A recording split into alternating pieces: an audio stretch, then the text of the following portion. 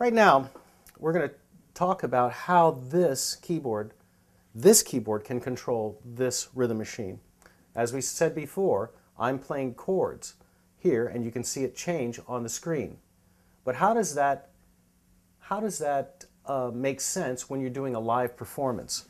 Well, I have the ability to record what I'm playing, but if I don't want to record, I can use this in a live situation, like this.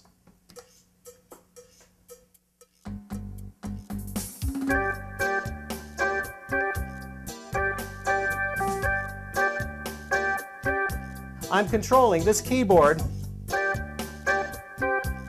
Actually, I'm controlling this rhythm machine with this keyboard. I can change the chords and follow along with yet another keyboard. All these instruments can be interfaced with each other to control each other. And I can also change the rhythm around. I can also go from one rhythm to a different type of rhythm in the middle of a song.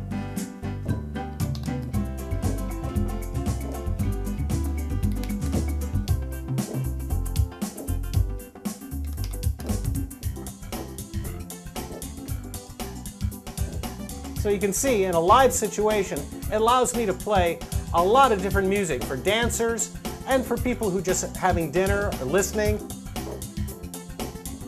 and not only that, it's a lot of fun.